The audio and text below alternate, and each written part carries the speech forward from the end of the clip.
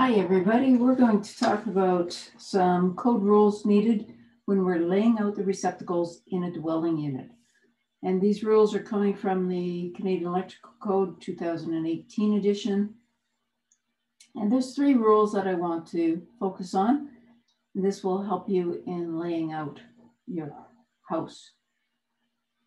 So 26720 is the first one.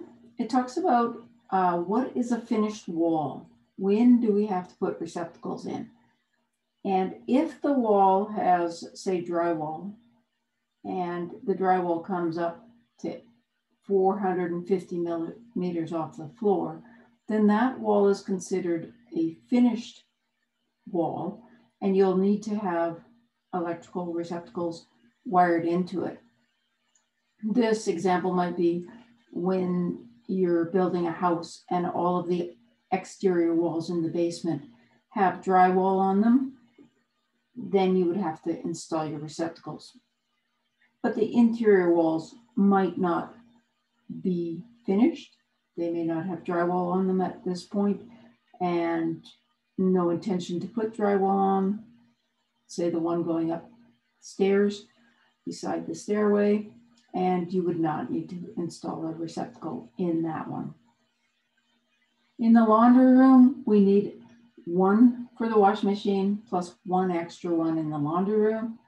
And these can be on the same branch circuit and that shows up in 26 652B.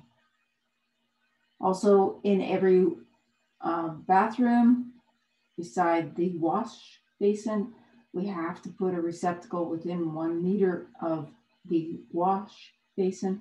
And we will see in a, another video where that one will have to be GFCI. The central vacuum system, if the home has one, has to have a receptacle dedicated for that vacuum system. Rule 26724, this is actually um, going to speak to the spacing between electrical receptacles. And I'm talking about general receptacles here. We will look at the kitchen specifically later on. So this rule reads a bit strange. It says, so that no point along the usable wall space is more than 1.8 meters from a receptacle. And this actually means that there can be 3.6 meters between the two receptacles. So that if you have a lamp somewhere between there that the lamp cord could reach either direction, no more than 1.8 meters, and reach a receptacle.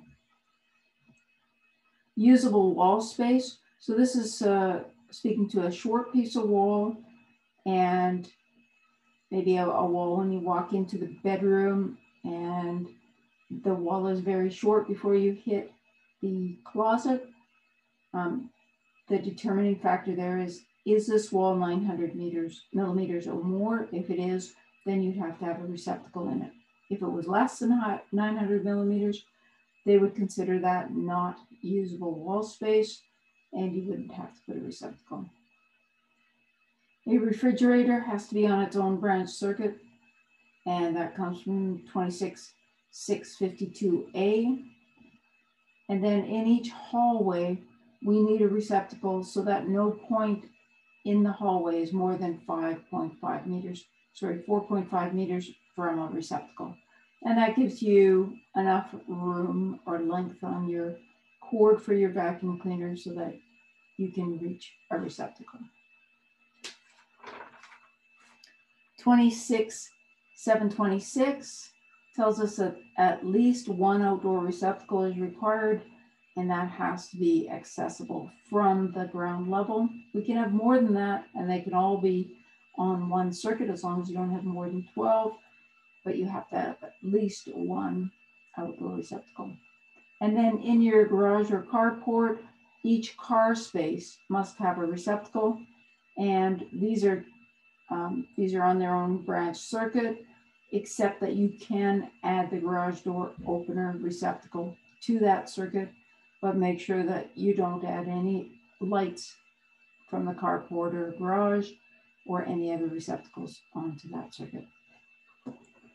Thank you very much. Hope uh, that's helpful. And